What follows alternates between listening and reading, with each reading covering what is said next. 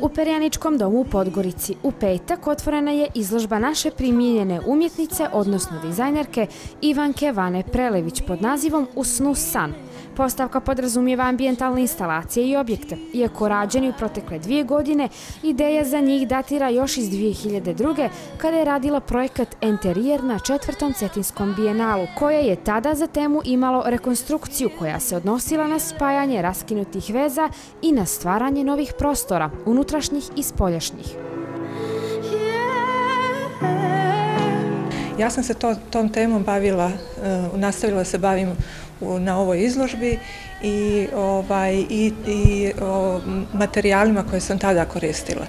E, ovdje je mm, jedno šest instalacija i nekoliko objekata na zidu. E, značajni elementi su i prozori koji, za koji se vežu ovi e, radovi.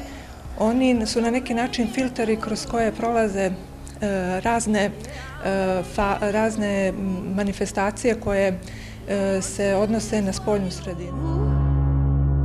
Oni ujedno simbolizuju i potrebu za bliskošću, zbližavanjem i oslobađanjem ka nekim novim vrijednostima. Šest instalacija napravljeno je uglavnom od pamuka, drveta i metala. Pitali smo umjetnicu kako je raditi sa njima.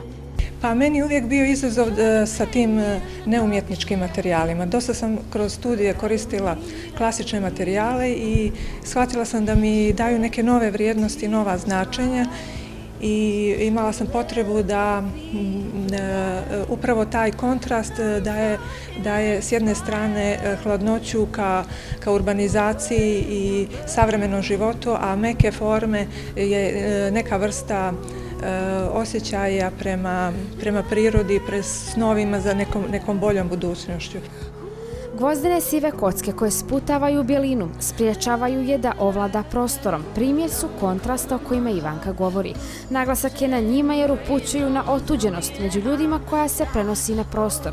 Likovna kritika je postavku opisala kao spoj nečeg lirskog i nježnog sa epskim i dramatičnim.